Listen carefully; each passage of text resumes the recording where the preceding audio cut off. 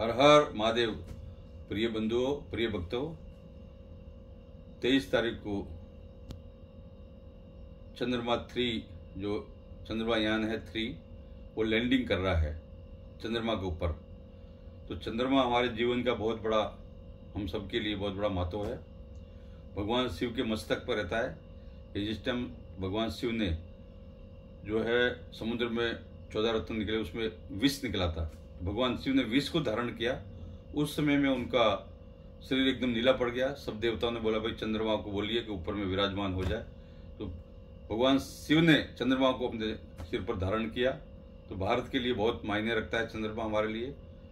सावन का महीना है, शिव के प्रिय है चंद्रमा। कल चंद्रयान थ्री जो है, लैंडिंग कर रहा है, वहाँ उतर रहा है। हम सभी भारतवासियों के लिए बहुत ही गर्व का विषय है। हमारे सभी विज्ञानों के लिए बहुत हर्ष का विषय है।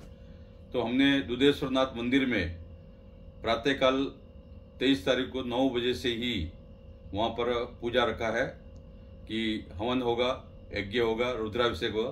पूरा दिन जब तक लैंडिंग नहीं देगा, तब तक उनके वैज्ञानिक और स्वास्थ्य के लिए और विशेष रूप से सफलतापूर्वक जो चंद्रयान थ्री है, वो उतर जाए, उसके लिए हम लोग विशेष प्रार्थना करेंगे।